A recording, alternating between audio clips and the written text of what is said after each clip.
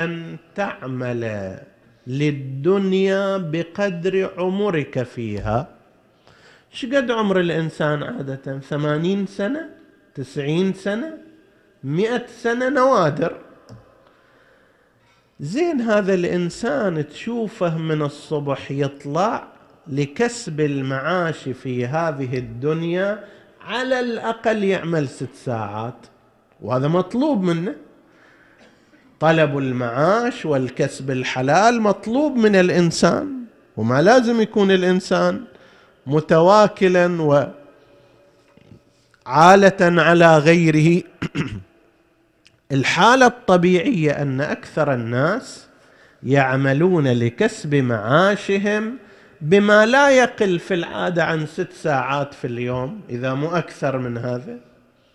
زين هذا يعمل ست ساعات في اليوم لأجل معاشه في هذه الدنيا التي لن يكون فيها أكثر من ثمانين سنة وتسعين سنة.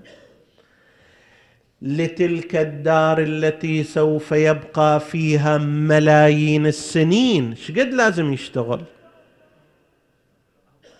على الأقل بمقدار هذه. ست ساعات هالصوب ست ساعات ذاك الصوب.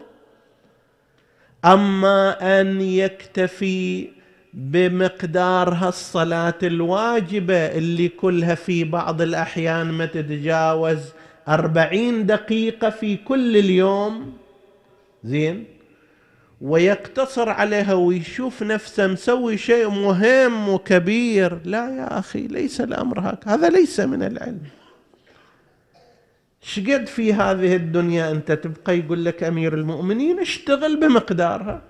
ترايح الآن لنفترض عطلة جاية راح تروح إلى مكان تدري أنه تبقى فيه أسبوع زمان. أسبوع زمان تأخذ لك مقدار من المال يتناسب ويا الأسبوع ومقدار من الثياب يتناسب ويا الأسبوع. أما إذا تريد تهاجر تقول أنا رايح إلى الدراسة في المكان الفلاني سنتين وثلاث سنوات. يختلف الأمر. تستعد بملابس أكثر بأموال أكثر. ليش؟ لأن فترة بقائك أكثر. هنا في هذه الدنيا أنت لا تبقى أكثر من هالمقدار هذا.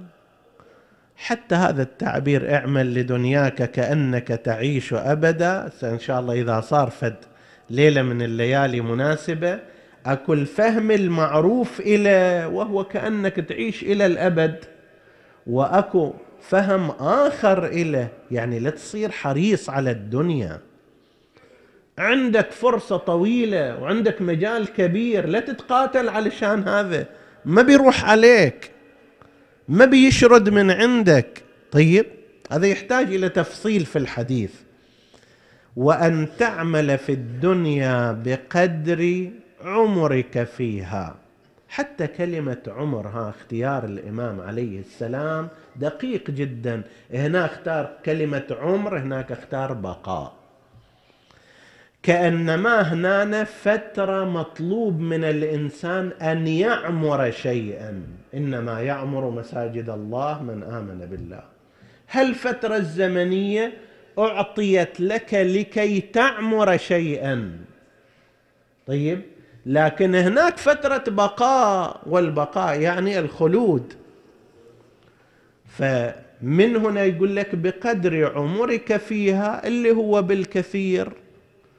سبعين سنة ثمانين سنة تسعين سنة أقل أكثر. اشتغل جيد. جزاك الله خير. اصرف على أهلك. أنفق عليهم. كن جوادا وسخيا معهم. اعمل لكسب الحلال حتى عندما تسأل يكون جوابك واضحا من أين اكتسبه وفيما أنفقه. هذا سويه. بس خلي عندك معادلة ثانية وهي واعمل لآخرتك بقدر بقائك فيها.